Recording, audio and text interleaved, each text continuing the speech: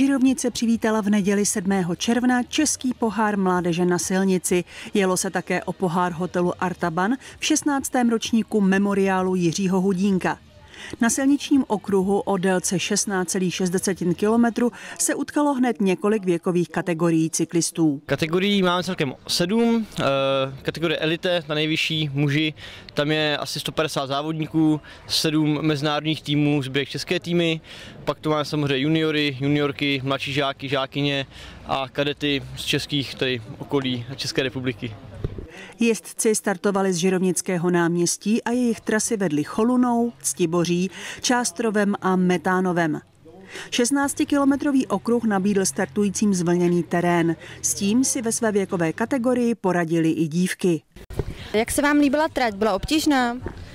Trať byla dobrá, obtížná byla, bylo to a i pár kopců tam bylo, takže super. Takže se vám závod dnešní líbil?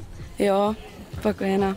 Pro mladé jezdce byl žirovnický závod dalším z mnoha, kde sbírali zkušenosti pozitivní i ty bolavé. Žáky jsme vyhráli a v kadetech jsme měli několik pádů, jo, takže nebylo to pro nás úplně úspěšné vystoupení, ale říkám víceméně pro nás je důležité, že další náš jeden z nejlepších závodníků, Michal Brázda, který současně startuje na světovém poháru v Německu, v dnešní etapě byl do desátého místa. Dospělí museli v hlavní kategorii absolvovat 133 kilometrů. Ve finiši nejlepší čtveřice měl nejvíc sil polský cyklista Kamil Zjelinský, který protěl cílovou pásku za 3 hodiny 15 minut a 10 vteřin před Rakušanem Maximiliánem Kuenem a dalším polským jezdcem Pavlem Cieslikem.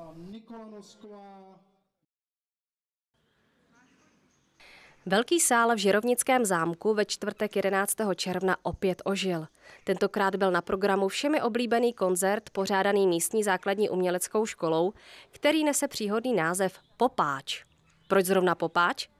Protože celý večer je věnovaný právě známým nebo méně známým populárním melodiím, které si žáci školy mohou sami vybrat a naskoušet. Tam budou všichni žáci hudebního oboru, nebo se představili dnes dopoledne, kdy jsme měli dva koncerty pro školy, pro žirovnickou školu a pro počáteckou školu a mateřské školy. Tak ti úplně nejmenší hráli na těchto koncertech, protože dát úplně všechny na celovečerní koncert, to by bylo až do půlnoci, jak to nejde. A kdo bude hlavní hvězda, to teda letos se dost těžko dá říct, protože jsem byl velice překvapen, co si někteří připravili a jak dobře to zvládli. A myslím si, že to bude překvapení pro všechny posluchače a, a sám jsem zvědavý na odezvu posluchačů, co se jim bude nejvíc líbit. Hned při vstupu do koncertního sálu mohl každý příchozí přispět jakoukoliv finanční částkou. To je dobrovolný příspěvek na Združení rodičů a přátel při naší základní umělecké škole a samozřejmě to používáme zase pro děti na nákup dárků nebo když jsou absolventský koncerty na zájezd a tak různě. Krátce po 19. hodině už byla všechna sedadla obsazená a nezbyla ani místa na stání. Stejně jako minulé roky popáč nesklamal a opět bylo tak říkajíc narváno. Měla by určitě přijít rodina a babička, děda, ty jsou všichni takový z toho hrozně nadšený všichni a jinak spousta lidí přijde určitě. Ten popáč je fakt hodně jako frekventovaná záležitost, že fakt chodí hodně lidí, čisto rádi užijou tu populární hudbu. Hned po třetím zazvonění se na úvod představili ti nejmladší, tedy zboreček písní Jevíčko. Pak následovala další vystoupení všech možných hudebních nástrojů, jako byla flétna, housle, klarinet, klavír a nechyběl ani akordeon. Mezi stálice všech vystoupení základní umělecké školy patří bezesporu dívčí sbor Arieta, na který se všichni velmi těšili. První melodie bude A ty se ptáš, co já, což je vlastně originál od Aby, to budeme mít v české verzi.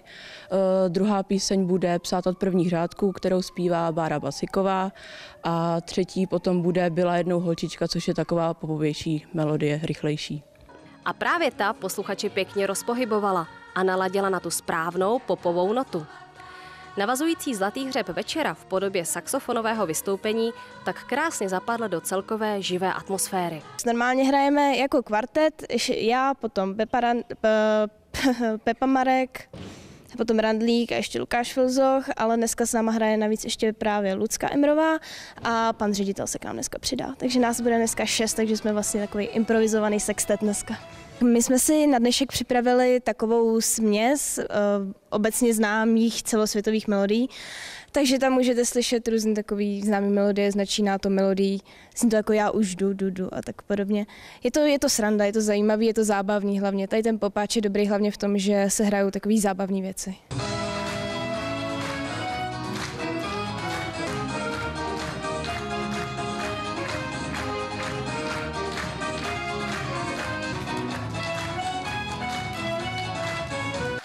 Bavili se nejen učinkující, ale i posluchači, kteří na závěr odměnili všechny žáky i pana ředitele s učiteli zaslouženým potleskem a bouřlivými ovacemi. Děti ze základní školy v Žirovnici předvedli v Sokolovně, co se v posledním pololetí naučili. Od těch nejmenších až po největší si zasloužili potlesk svých rodičů i prarodičů, kteří se na ně přišli v hojném počtu podívat. 17. června se ve středečním odpoledni vystřídala na pódiu celá řada účinkujících. Všichni mohli obdivovat masky, kostýmy a mnohdy i kulisy, které děti pro svá vystoupení ve škole vytvořili. Prvňáci předvedli pásmo o kočičkách, plné rostomilých říkanek a písniček. Dneska jsem teda počítala, myslím si, že 130 vystupuje těch dětí, že teda někdo se taky dívá, nevystupují úplně všichni, protože třeba řekněme, když jsem říkala, že každá třída vystupuje, ale není to vždycky celá ta třída, jsou to ty, co to mají zájem. A děti, které vystupovaly, se opravdu snažili, a šlo o písničky, tanec, dramatizace pohádek nebo vystoupení v anglickém jazyce. Tady došlo na písničku o koupání. Can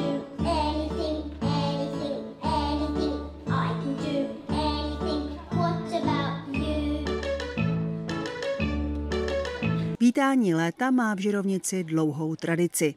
Je to pravidelná akce, kterou jsme zařadili sametové revoluci, když ministr kultury vyhlásil tehdy ten den evropské kultury, jako hudby, den hudby, který se ještě v řadě mě dneska udržuje, tak jsme se k tomu taky přihlásili. Nejdřív jsme to tak nazývali jako den hudby a pak, protože třeba se tady nepodílí jenom hudba, ale děláme i ty jiné aktivity, tanec a yoga bude ještě vidět, tak jsme to nazvali tímhle tím vítáním léta, protože je to na konci léta, my vítáme léto a směřujeme to k tomu prvnímu letnímu dny, tak jak i ten den evropské hudby je k tomu směřovaný. Větší školáci sáhli do strun kytar a zazněla písnička Bratří Nedvědů.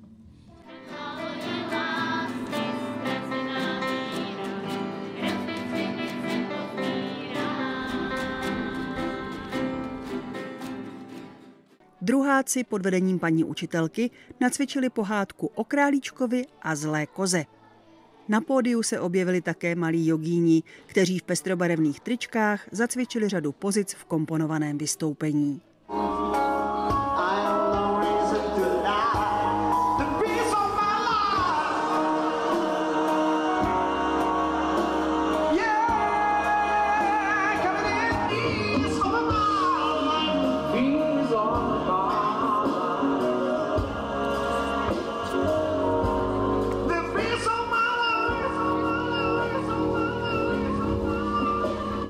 Vítání léta bylo vlastně i rozloučením se školou.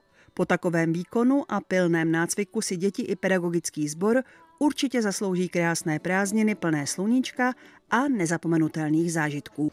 25. června byl slavnostně zahájen provoz úpravny vody v Žirovnici. Zástupci města, hosté i zástupci společností, které se podíleli na realizaci, si dokončenou stavbu prohlédli a seznámili se s jejím provozem. Nová úpravna znamená pro místní obyvatele ještě lepší a stabilnější kvalitu vody než dosud. Úpravna vody v Žirovnici prošla poměrně zásadní rekonstrukcí. Tím hlavním důvodem bylo zajistit větší bezpečnost a kvalitu vyrobené pitné vody. Průběhu roku se významně nahradila, změnila technologie úpravy povrchové vody z Hajkovského a Ješkovského rybníka. V podstatě původní třístupňová úprava se nahradila úpravou pětistupňovou, včetně ozonizace a filtrace aktivním uhlím, čili špičková kvalita vody na výstupu. Po dobu rekonstrukce nezaznamenali obyvatele jakékoliv nedostatky v dodávkách či kvalitě vody. Byť to bylo velice náročné jak pro zhotovitele, tak i pro provozovatele skoordinovat všechny činnosti, aby v průběhu té roční rekonstrukce nedošlo k žádné odstávce nebo zhoršení kvality vody. Všechno se podařilo, dílo je dokončeno a e, jsme rádi, že e, kvalita vody bude zabezpečena i do budoucna. Pro město byla tato investiční akce velmi významná. Z hlediska rozsahu je to druhá největší investice v té novodobé historii města. Největší naší investicí byla rekonstrukce zámeckého pivovaru, tohle je druhá největší investice ve výši 29 milionů korun. Samozřejmě to nejsou pouze naše finanční prostředky.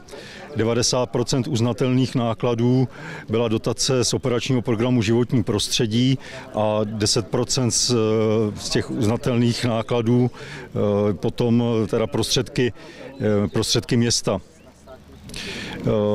Pro rozvoj města je to investice velmi důležitá, protože my upravujeme vodu z rybníka Ješkovského, takže ta úprava vody je přeci jenom náročnější než z podzemních zdrojů a ta kvalita té surové vody se v průběhu roku také mění a úpravna, která má kvalitní řídící systém a kvalitní technologii nám zaručuje stabilní, kvalitní pitnou vodu během celého roku.